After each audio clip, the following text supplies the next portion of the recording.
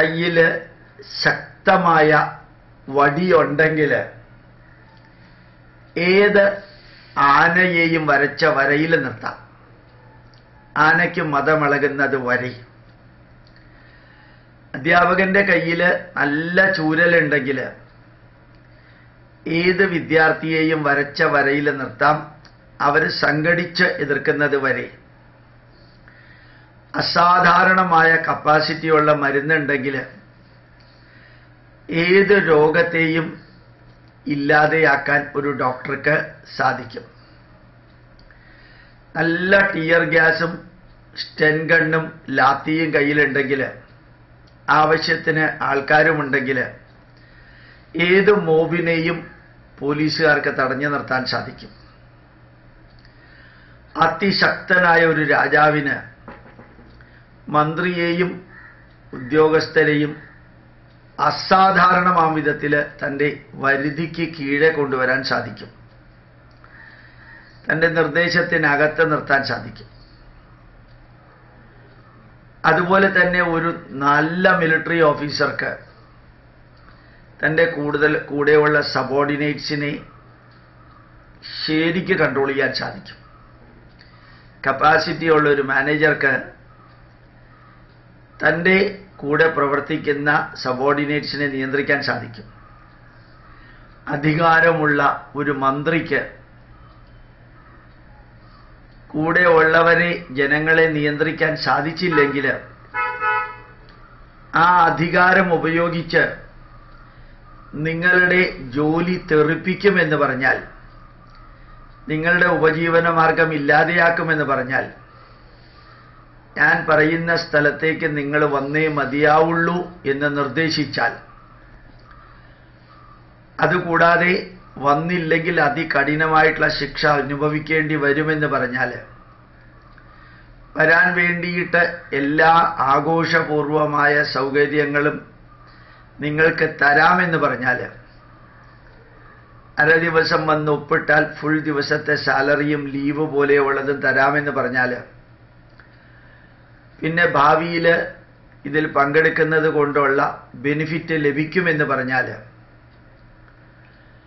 അങ്ങനെ ശബരിമലയിലേക്ക് പോകാൻ തയ്യാറാകാത്ത ഒരു സ്ത്രീ പോലും ആത്മസമർപ്പണ ചാരിത്ര ബോധ ആത്മീയത ഉള്ളവരും ഇല്ലാത്തവരുമായിട്ടുള്ള സ്ത്രീകൾ ഒരാൾ പോലും ശബരിമലയിലേക്ക് പോകാതെ അവരെല്ലാം ശബരിമലയിലേക്ക് പോകണം.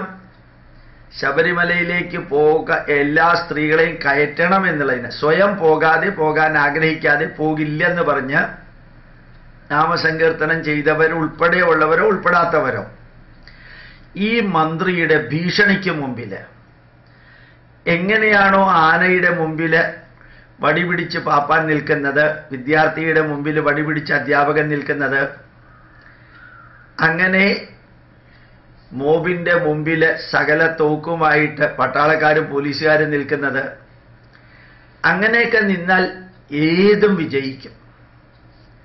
ഇന്നത്തെ മാതൃഭൂമി പത്രത്തിൽ ഗംഭീരമായിട്ടുള്ള വിജയത്തിന്റെ വാർത്തയുണ്ട്. അത് വിജയിപ്പിക്കാൻ ചെയ്തത് എന്തൊക്കെയാണ് എന്നുള്ളത്. എന്തുകൊണ്ട് ഇതിന്റെ നീളം കുറച്ചു? എവിടെയെല്ലാം ഗ്യാപ്പ് വന്നു? വന്നവർ സ്വമനസാലയാണോ വന്നത്?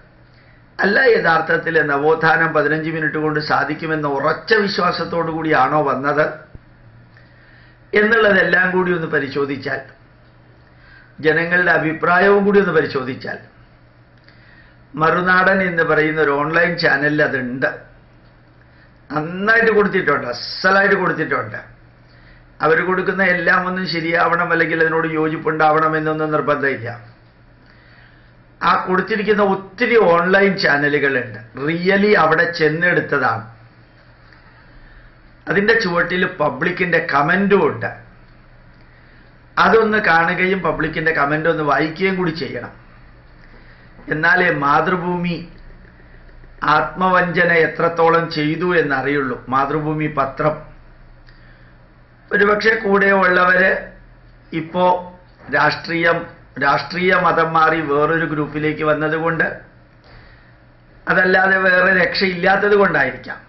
എന്നാലും പി വി ചന്ദ്രനെ പോലെയുള്ള പി വി ചന്ദ്രൻ സാറിനെ പോലെയുള്ള അല്പമെങ്കിലും ധർമ്മബോധമുള്ള വ്യക്തികൾ ഇതുമാതിരി ഒരു വലിയ പബ്ലിസിറ്റി കൊടുത്ത് പതിനഞ്ച് മിനിറ്റ് കൊണ്ട് കേരളത്തിൽ നവോത്ഥാനം ഉണ്ടാക്കുമെന്നുള്ളത് തെളിയിക്കാൻ ഇറങ്ങി പുറപ്പെട്ടവരുടെ തെളിയിക്കാനുള്ള പ്രവൃത്തി വൻ വിജയമായിരുന്നു എന്ന് ബാക്കിയുള്ളതെല്ലാം തമസ്കരിച്ച് കാണിച്ചപ്പോൾ ഏതോ രാവിലെ ആ പത്രം വായിച്ചപ്പോൾ പണ്ട് പലരും പറയാറുണ്ട് അത് ഒരിക്കലും തൊടുക പോലും ചെയ്യരുത് എന്ന്. അതൊന്ന് ഓർത്തുപോയി.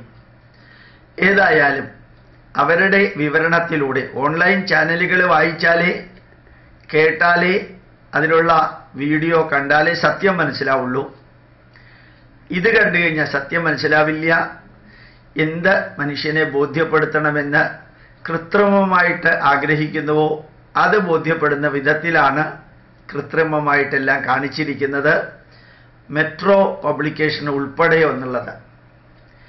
ഏതായാലും ആ നവോത്ഥാനം ഇന്നലെ നാലേ കാലോടുകൂടി കഴിഞ്ഞു. ഇനി എന്താണാവോ? മതിൽ കെട്ടിയിട്ടോ വേലി കെട്ടിയിട്ടോ ഒക്കെ നവോത്ഥാനം ഉണ്ടാക്കാനായിട്ട് സാധിക്കുമെന്ന് വളരുന്ന തലമുറയെ പഠിപ്പിക്കാനായിട്ടുള്ള പരിപാടി ആവിഷ്കരിക്കുന്നത് എന്നുകൂടി അതിൽ പ്രഖ്യാപിച്ചിരുന്നെങ്കിൽ നന്നാകുമായിരുന്നു.